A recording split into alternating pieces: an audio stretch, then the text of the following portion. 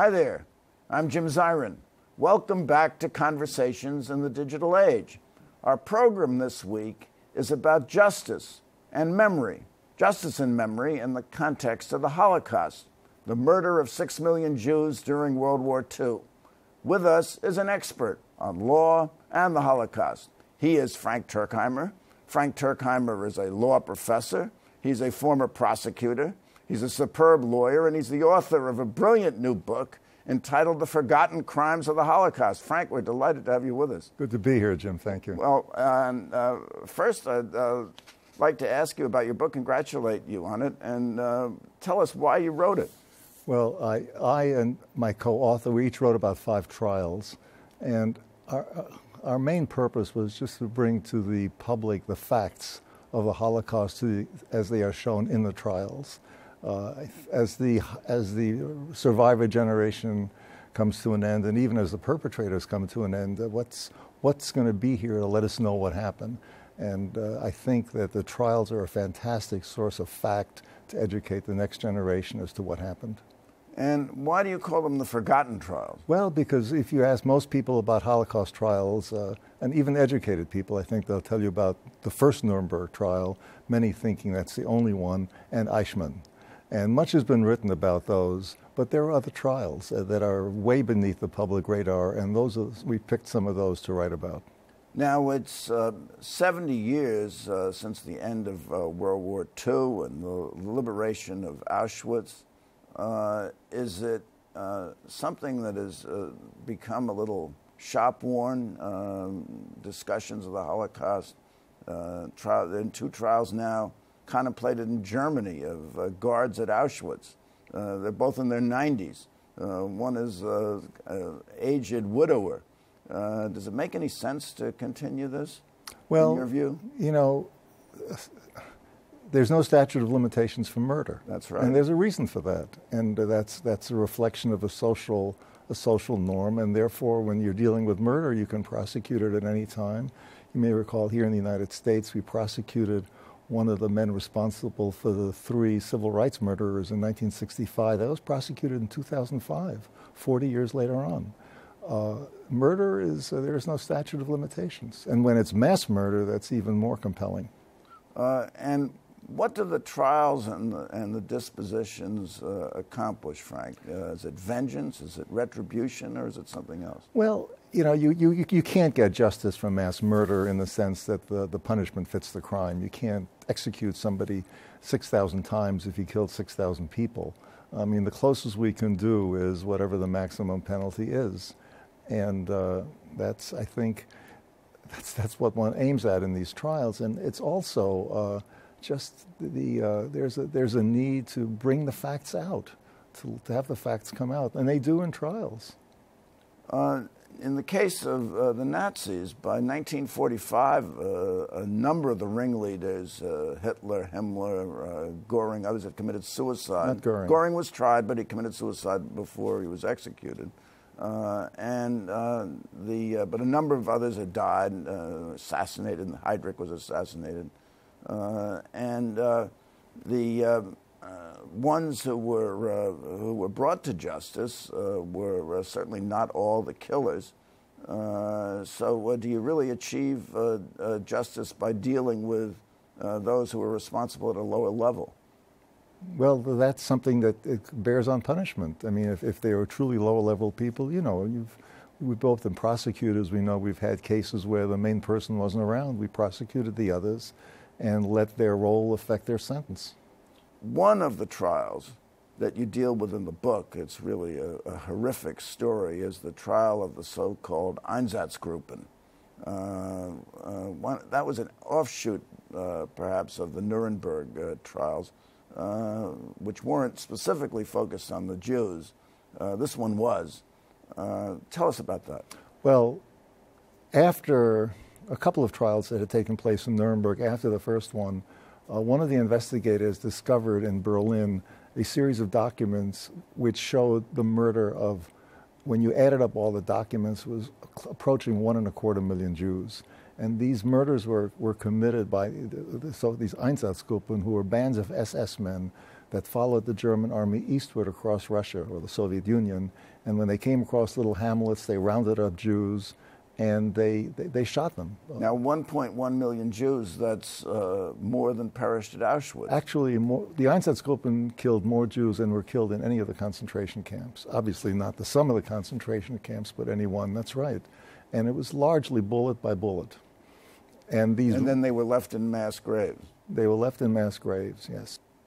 Can you describe in a little more detail, perhaps with uh, by reference to uh, uh, an affidavit of someone who was almost a victim of uh, what what happened? Well, you know, the, the, the trial itself was looked at from the perp- from the perpetrator point of view, and all these documents were put in showing mass murders, and the do- the authenticity of the documents wasn't challenged, and the main defense was following orders. But what I what what I've done in the book is be, I try to show this from the victim end, and if you don't mind, can I show read a little yes, bit of the please. testimony? This is the testimony of a, a, woman, and you might say, how do you survive this?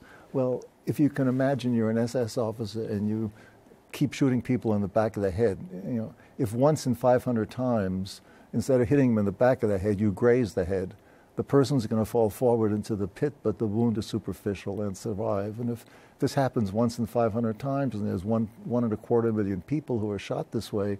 You're going to get about 2,500 people in the pit who are not dead.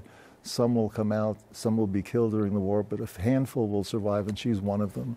And Her we're name, talking men, women, and children. Men, women, and children, you know, uh, well. All non combatants, all civilians. All civilians, simply living in small towns as Jews. When we arrived at the place, she describes how they were rounded up in the summer of 1942 uh, we saw this was testimony, by the way, at the Eichmann. This trial. was testimony at the Eichmann trial. I doubt that the prosecutors in Nuremberg even had access to this. I mean, things were pretty chaotic. And so this is testimony 15 years later on, but of course it describes it from the victim perspective, which they didn't have at Nuremberg. Uh, they were taken, they were forced to either get onto a truck or run after the truck. And she says when we got there, we saw naked people standing there so we thought maybe they were going to be tormented, but that wasn't the case. It was difficult to hold the children. They were shaking. We took turns.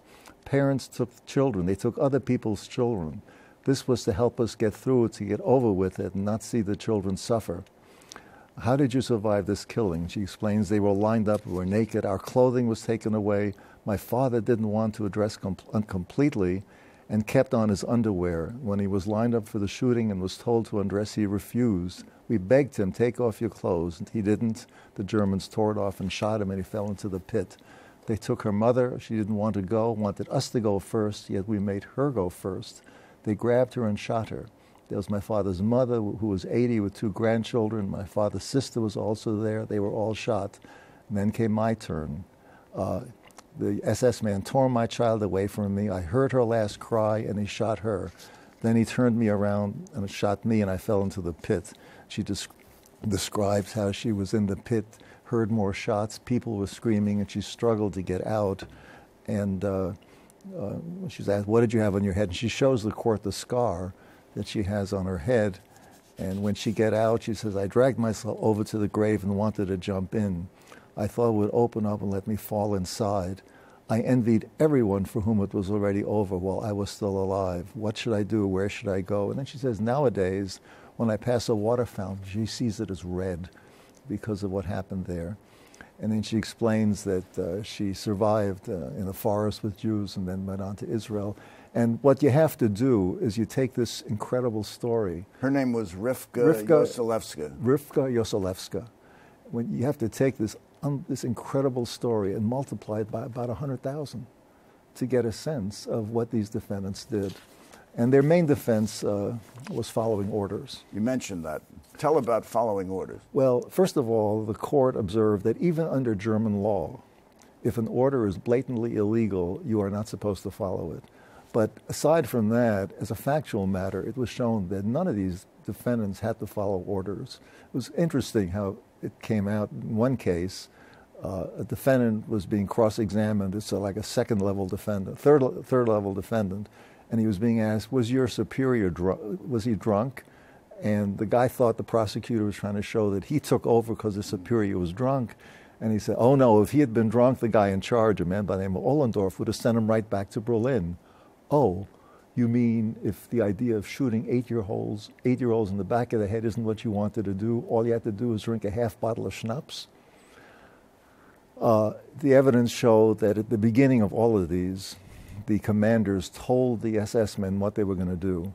And if they didn't want to do it, they should just step forward and they were sent back to Berlin and they were probably just went into the German army. And there was one defendant, a man by the name of Graf, who refused to do it. Uh, and he was sent to the brig for a few days and then sent, uh, sent to Berlin, and the court acquitted him of uh, crimes against humanity. So th- nobody had to follow orders. Now, there were originally 23 defendants. One committed suicide. So, well, what was the disposition with regard to the 22? There were three judges on the court, all American. Uh, the chief judge, Musmanno, was from Pennsylvania, he was a judge. Right. There were two others from the South. Uh, and what were the dispositions? Originally, 14 of these 21, 23 defendants, 22 defendants were sentenced to death, and the rest of prison terms, except for the one guy who was really sentenced to time served. Uh, the uh, the penalty, the sentences were reviewed, were reduced somewhat, but then came the Cold War, and there was intense pressure on the Americans by the Germans uh, to, you know, to, to, to, to, lighten up. And uh, Germany, what I, I, say, I say, they played the Soviet card. They said, look, we're a bulwark. If we're we're a bulwark against Soviet expansion, uh, if you want us to be strong, you've got to, we've got to accommodate what our people want, and they want these defendants out. And so four were hung, including the leader, General Ohlendorf. But by 1958, about 10 years after the trial, they were all released. all released. All released. And- And, some lived for quite a, quite a long time that, after that. that was justice in the Einsatzgruppen case. That was justice in the Einsatz Let's, case. let's turn to Eichmann, which you don't fully cover in your book, but you mention it. Uh, tell about the Eichmann trial because you spent two and a half days interviewing the Eichmann prosecutor, Gabriel Bach, Yes. uh, and a videotape has been, uh, has been made of that. Uh, and uh, you can find it online at uh, cargocollective.com forward slash Eichmann uh, prosecutor interview. And it's a brilliant interview. Thank and, you. Uh, tell us about that. Well, I, like many people of my generation, I first learned and followed the Eichmann trial by reading Hannah Arendt's book, Eichmann in Jerusalem.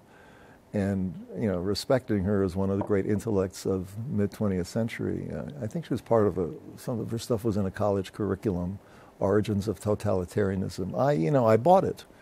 And then about, I don't know, maybe 15, 20 years ago, I was uh, at a talk here given by Bach in which he described some of the facts of the Eichmann trial, and that was just totally inconsistent with, with Hannah Arendt. At one point, she, she said that Eichmann was more clown than monster. And when you read the transcript, that, that is an abomination. I mean, uh, maybe in 1961, sitting in the glass booth trying to wriggle his way around documents that were deadly, he looked foolish. But the Eichmann that we got to talk about is not the Eichmann sitting in the glass booth in 1961, but the man back between 1941 and 45, who, as you went through the German hierarchy, was the highest person whose sole responsibility was implementing what the Germans aptly called the final solution to the Jewish question. which was at times called Operation Eichmann by the Germans. Yeah, some of them did, yeah. And you know, I you know, in, in this uh, fairly limited time, I'll just give you two examples: one micro, one macro, of how pernicious Eichmann was. At the micro level, he kept receiving requests to save this Jew or that Jew.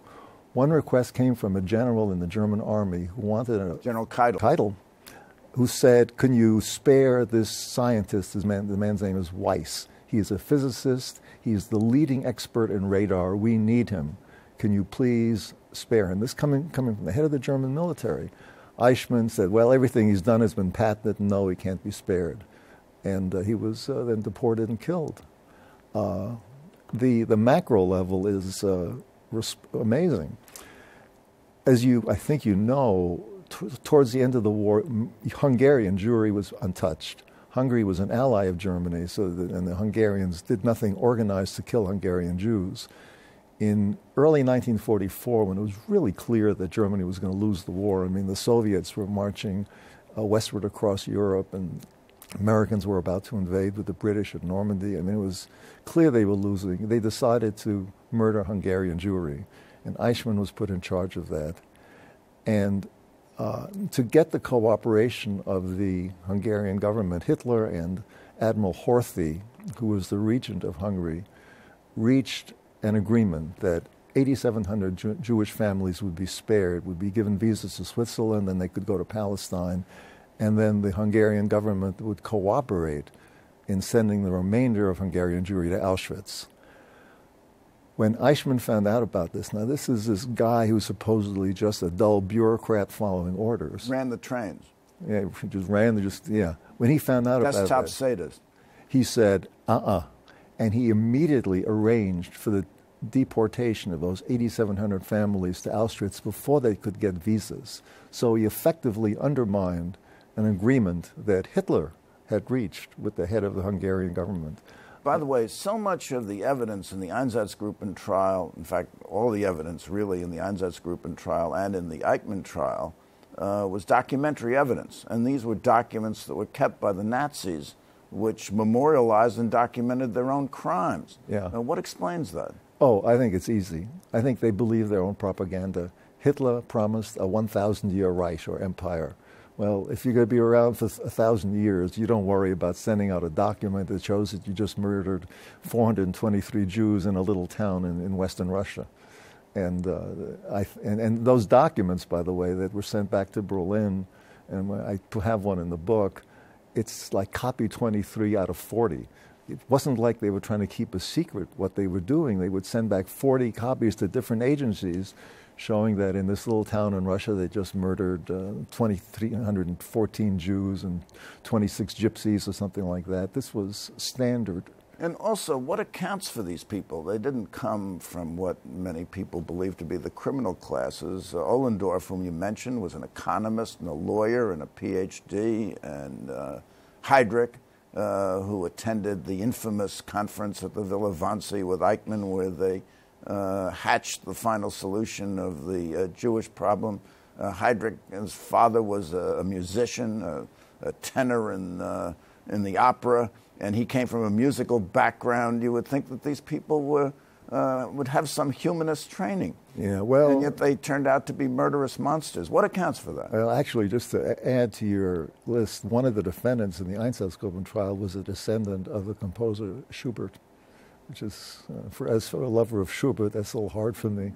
But what accounts for it? Uh, I think what accounts for it is that there really was a latent, deep, underlying anti Semitism in Germany, which was fueled very, very easily by Hitler. I mean, he had to strike a, a chord that, uh, you know, that, that people were happy to go along with.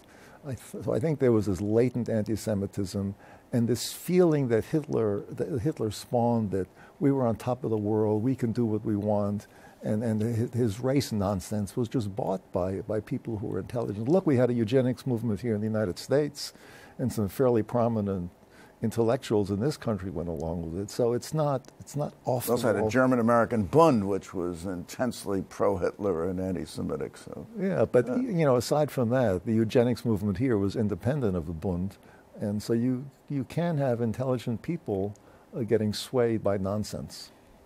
So it's a form of racism, uh, oh, of which course. Of course uh, many people unfortunately subscribe. And, uh, I think the Canadian Supreme Court said the Holocaust uh, did not begin in the ovens, it began with words. And uh, so it's really uh, uh this feeling of anti Semitism which rises to a, a murderous. Yeah, and Hit, uh, the Germans, Hitler used uh, the writings of Martin Luther uh, to uh, point to the, you know, the accuracy and how, you know, that this was justified.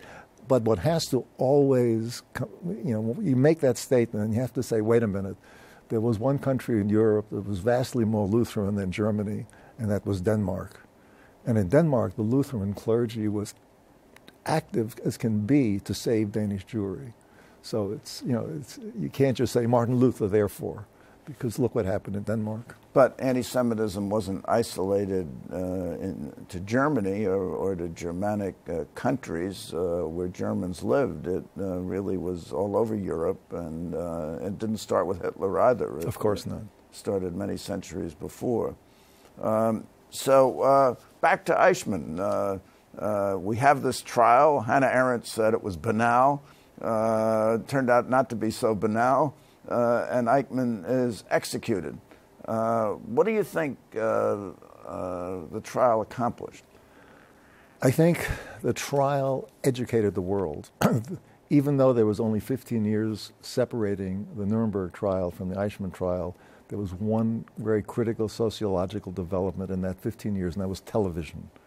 The number of homes that had television in 1945 was infinitesimal compared to 1961 and the Eichmann trial was televised all over the world into people's homes, and the, you know, and I don't. I think the, I, I, think the prosecutors did the right thing. They, they, it was in a sense they wanted to educate. They looked upon the trial as a vehicle of education, and to make it as national as international as possible. They made a point of calling witnesses from all countries in which Jews were murdered, uh, and and they accomplished their objective. I mean, so really the, the message uh, that they tried to get across, on which they uh, certainly did get across, is this is the horror to which racism can lead. Absolutely. Uh, Hannah Arendt said, uh, she said, just as you, Eichmann, supported and carried out a policy of not wanting to share the earth with the Jewish people and the people of a number of other nations, as though you and your superiors had any right to determine who should and who should not inhabit the world, we find that no one, that is, no member of the human race, can be expected to want to share the earth with you. This is the reason and the only reason you must hang. So she did change her position somewhat after the trial. You know, it shows you the, the beauty of her writing, which makes her statement that he was more clown than monster all the more incomprehensible. Uh, well, another uh, beautiful writer was Elie Wiesel, and uh, he said of the Holocaust, without memory, there is no culture. Without memory, there would be no civilization, no society, no future. Are the Holocaust trials an aspect of the memory he's talking about? Absolutely. Uh, well, I have a question for you, Frank Tuerkheimer. Um, some of the criminal defendants were hanged. Uh, most got off after serving 10 years or less. Uh, my question is Did the Holocaust trials do substantial justice? I think if you look at all of them and you look at all the sentences, you have to come away with an uneasy feeling that they didn't. I mean, look, of these mass murderers, people who were responsible for over a million deaths, four were hung and the rest served less than 10 years. I mean, come on. We I sentence mean, people to 10 years for white collar crimes. If somebody robs a grocery store, they go to jail for 10 years. I mean, it's. Uh, or embezzles funds from a bank or is guilty of insider trading. Right, right, right. I think uh, if, if you want justice, you, you don't really come away from these trials saying it, it, was, it was accomplished. But there was an effort made, and I, I guess in the last analysis, that's, that's important too. That there were prosecutors around who spent a, good chunk of their youth trying to put these cases together and they did so as effectively as they could. And it does serve as a, as a, a notice to people that you run that risk if you're going to get involved in this. Uh, a court is bound to impose uh, the death penalty on Tsarnaev, who was uh, a terrorist and mass murderer in the Boston Marathon horror. Do you agree with capital punishment in cases of terrorism and mass murder? You know, you I'm actually representing somebody on death row in Alabama. So you, well, apart from that case, apart from that, I would say that in terrorism cases, I can see it because number one, you're dealing with potential mass murder, and number two, guilt or innocence is rarely is rarely an issue in a terrorist case. I mean, the, the, the, the overriding fear we always have in death penalty cases is that we're executing someone who's innocent. Uh, I mean, that's the worst thing society can do. Uh, in terrorist cases, that's not going to happen. Well, in, in all the Holocaust cases, uh, substantially all of them uh, did not deny their guilt. Uh, they uh, had other uh, f- defenses of various kinds, but none of them said classic de- uh, defense in a criminal case is I didn't do it. You got the wrong man. No one said that. That's one of the very interesting things that runs through all of the trials. If there's one theme in common, it's none of the defendants denied that it happened. They said that they didn't know about it, they weren't there, they were following orders, or you did the same thing. But no defense was this did not happen. It was acknowledged that it happened. And that's one of the reasons I think these, these trials are very important. That's why these trials are very important. Frank Tuerkheimer has been just marvelous. Thank you so much for coming by. Pleasure. And thank you for coming by. Tune in next week for more conversations in the digital age. I'm Jim Zirin. All the best. Oh, and please visit our website at www.digitalage.org. Take care.